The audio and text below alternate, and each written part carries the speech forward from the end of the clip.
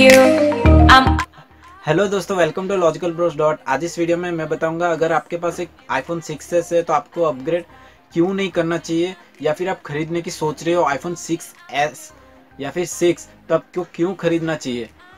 और उसके कुछ फीचर्स बताने वाला हूँ।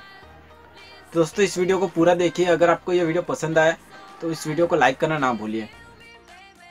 तो दोस्तों, इसमें पहली बात यह है कि इसमें आपको एक 4.7 इंच का डिस्प्ले मिलता है।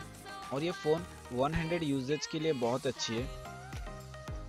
इसमें आपको 8 मेगापिक्सल का कैमरा मिल जाता है, जो कि 1080p तक शूट कर सकता है। अगर आप स्लो मोशन रिकॉर्डिंग करना चाहते हो तो आप 720 में 240 फ्रेम्स तक भी रिकॉर्ड कर सकते हो। जैसे कि 2017 में एप्पल ने अपना नया अपडेट लॉन्च किया है, iOS 11.1 वो भी इसमें आपको मिल जाता है। और इस अपडेट के बाद आप ये फ़ोन अभी बहुत ही स्मूथ लगता है। अभी तीन साल के बाद भी अगर आप इसकी बैटरी लाइफ की ओर देखें तो ये तीन से चार घंटे तक देती है बैटरी बैकअप अगर आप नॉर्मल यूजेज करते हो तो। और इसकी दो फीचर्स है जो आप आईफोन 10 से कंपेयर कर सकते हो। वो है फिंगरप्रिंट और हेडफोन जैक फिंगरप्रिंट आपको होम बटन में ही एम्बेडेड मिल जाता है, जो कि बहुत ही कन्वीनियंट वे है अपने फ़ोन को अनलॉक करना।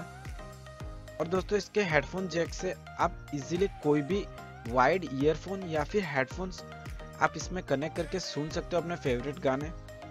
विदाउट कोई कनेक्टिविटी इश्यू या फिर बैटरी लो कुछ भी आपको डायरेक्टली प्लग इन करना अपना हेडफोन और गीत सुनना है। दोस्तों ये अगर आप बाई करना चाहते हो तो आप ईबे पर जाकर चेक कर सकते हो। ये बहुत ही चीप प्राइस में अभी मिलता है जो कि 22,000 या 25,000 के आसपास फ्लक्चुएट होता रहता है।